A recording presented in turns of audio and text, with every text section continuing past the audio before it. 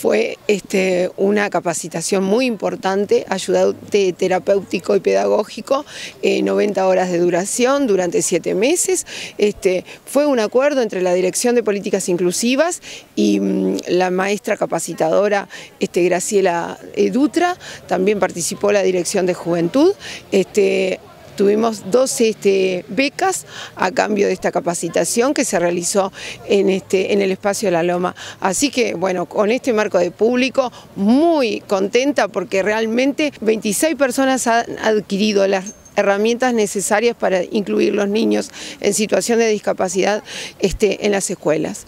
Así que bueno, seguimos sumando capacitaciones, seguimos sumando herramientas para que realmente se pueda efectuar una inclusión yo tengo 36 años de docencia y viendo cómo han cambiado los tiempos y la necesidad que tienen eh, los padres y los docentes, es que yo me, me, puse a investigar cómo poder hacer para ayudarlos. Hice un seminario junto con Políticas Inclusivas en el 2020, entonces me dediqué a hacer un programa que incluye toda una parte pedagógica, una parte psicológica para saber eh, de discapacidad, de psicología de las edades y bueno, y después la parte de las prácticas que las hacen, prácticas de observación en diferentes centros como es el de Tarobá y el centro de Creciendo Juntos que nos han apoyado siempre. Además de eso hicimos talleres que vinieron de primeros auxilios, cuidados paliativos, eh, psicopedagogas, psicólogas, especialistas en TEA, o sea, eh, abarcó muchísimo. Intendencia de Maldonado,